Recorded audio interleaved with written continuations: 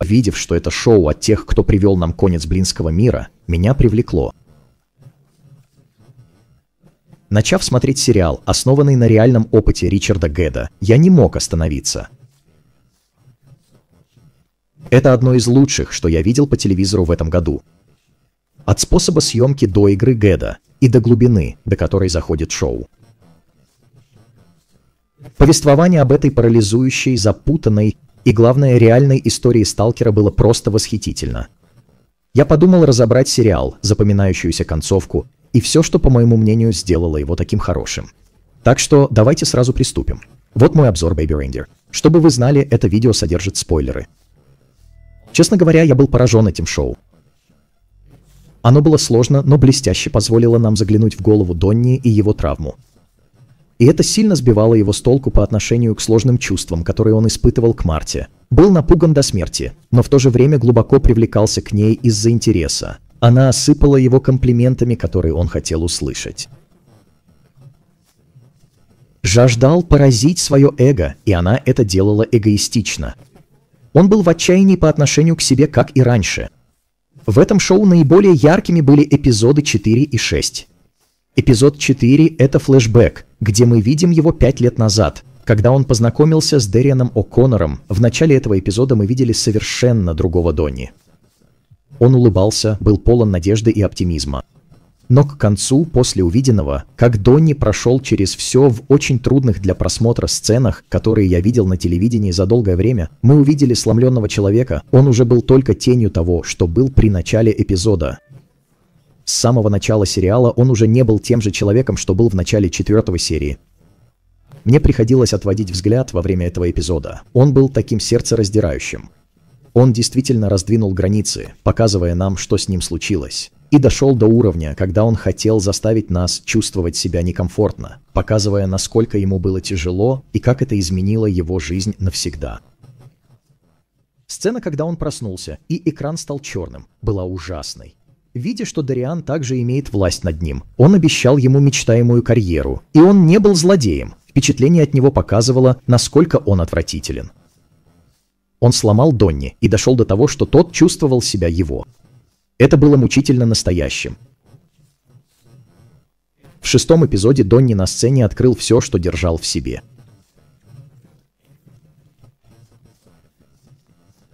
Донни ненавидел себя, он был неуверен и считал себя ничтожным. Все из-за насилия. Он жил в страхе, что окружающие помыслят о нем. Тайный юмор, отношение к своему полу, к принятое обществом пониманию своих отношений, причем все это после насилия. Он даже не захотел идти в полицию, чуть ли не отказывался признавать произошедшее. Это стало бы реальностью, Такое поведение имеет долгосрочные последствия. Это было крайне нездорово для него.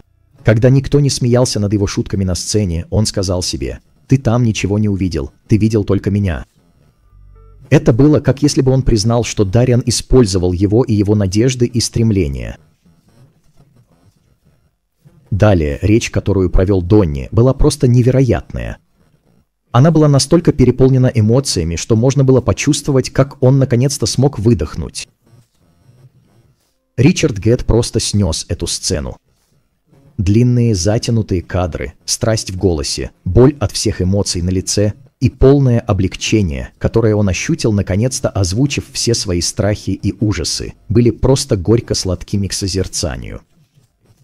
Тебе было за него радостно, потому что он был наконец-то честен, но делал он это на публике. Безусловно, для меня это был особенно выдающийся момент во всем шоу. Сама история с Мартой была истинно ужасающей. Она была совершенно безумной. А Джессика Каннинг блестяще сыграла этого сталкера, не испытывающего эмоций, но при этом переполненного экстремальными. Разочарование, которое я пережила, также испытывали многие другие, когда Донни обращался в полицию, а они ничего не делали. А потом, когда его поставили на одну ступень с Мартой, это тоже было чрезвычайно разочаровывающим. Никто не воспринимал его всерьез. И было так обидно, что его подводят. На самом деле в этом шоу не было много насилия, что, по-моему, было хорошим выбором. Ужас от того, что кто-то просто находится в твоем пространстве, за пределами твоего дома, в твоем почтовом ящике и за углом.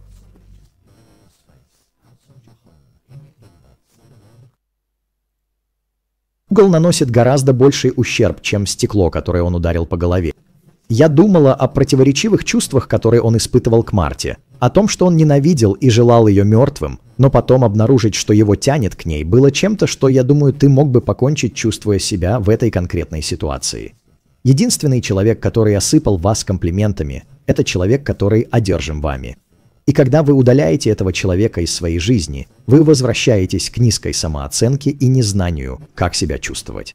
Так что его навязчивая идея слушать записи, на которых она говорит ему приятные вещи, была почти как одеяло для комфорта. Что касается концовки сериала, когда он заходит в бар и сидит там расстроенно, как и в самом первом эпизоде, и он забыл свой кошелек, и когда ему дали выпить бесплатно добрый жест, который он сделал Марте в начале, это почти намекало на то, что цикл может так легко повториться. Но в этот раз бармен может стать тем, кем был Донни. Донни на самом дне, полагаясь на комплименты Марты для самочувствия. Он даже понимал и сочувствовал Марте, когда она объясняла, почему называет его своим олененком. Так, будто немного внимания и заботы при тяжелых временах можно вызвать нечто неожиданное. Я не думаю, что Донни хотел продолжать этот цикл. С другой стороны, он мог видеть в бармене себя с обратной стороны барной стойки. Что касается качества съемки шоу, это было просто великолепно. Оно было глинцевым и в то же время зернистым. Странно говорить, но темная древесина дуба и красная палитра соответствовали тону и ощущению шоу. Это выглядело так же хорошо, как «Конец долбаного мира», я думал, ошеломляюще. Изумительно, что шоу основано на опыте Ричарда Гэда в 20 лет с преследователем. Тяжело было снимать сцены, как в 4 и 6 эпизодах. Потрясающе входить в это пространство ума и отыграть. Мне понравилось, что этот шоу шло своим темпом. 7 эпизодов от 25 до 45 минут – они позволили Гэду рассказать историю, как он хотел. Это отлично отразилось. Я точно знаю, что это одно из самых мощных, интересных, захватывающих и настоящих шоу этого года. Рекомендую посмотреть, если вы еще не видели. Вы ничего подобного раньше не видели. Итак, вот и мой обзор Baby Reindeer. Если хочешь больше видео, где я разбираю твои любимые шоу, то нажми на карточку в верхнем углу.